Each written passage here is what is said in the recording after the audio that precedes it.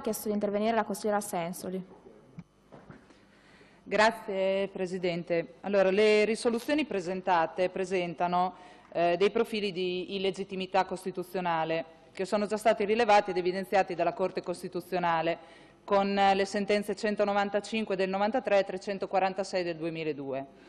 La legge regionale 20 del 92 della Lombardia, infatti, norme per la realizzazione di edifici di culto e attrezzature religiose, prescriveva per le confessioni religiose non cattoliche, quali requisito di ammissibilità ai benefici della legge, la sussistenza della previa intesa con lo Stato, ai sensi dell'articolo 8, terzo comma della Costituzione. Ugualmente disponeva la legge 29 dell'88 dell'Abruzzo.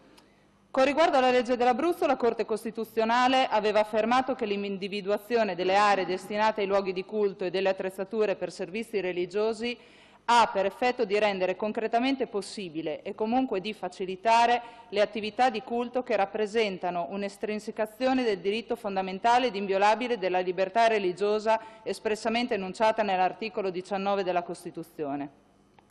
Con riguardo alla legge 20 della Lombardia, la Corte Costituzionale, con la sentenza numero 346 del 2002, ha ribadito i principi affermati nella precedente sentenza che avevano condotto a dichiarare l'incostituzionalità della legge. Cito dalla sentenza: «Tale ragione di incostituzionalità trova applicazione anche nel presente giudizio. Le intese di cui all'articolo 8, terzo comma, sono infatti lo strumento previsto dalla Costituzione per la regolazione dei rapporti delle confessioni religiose con lo Stato, per gli aspetti che si collegano alla specificità delle singole confessioni o che richiedono deroghe, deroghe al diritto comune non sono e non possono essere invece una condizione imposta dai poteri pubblici alle confessioni per usufruire della libertà di organizzazione e di azione, loro garantita dal primo e dal secondo comma dello stesso articolo 8, né per usufruire di norme di favore riguardanti le confessioni religiose. In questa prospettiva tutte le confessioni religiose sono idonee a rappresentare gli interessi religiosi dei loro appartenenti, L'aver stipulato l'intesa prevista dall'articolo 8, comma terzo della Costituzione per regolare in modo speciale i rapporti con lo Stato non può quindi costituire l'elemento di discriminazione nell'applicare una disciplina posta da una legge comune volta ad agevolare l'esercizio di libertà dei cittadini.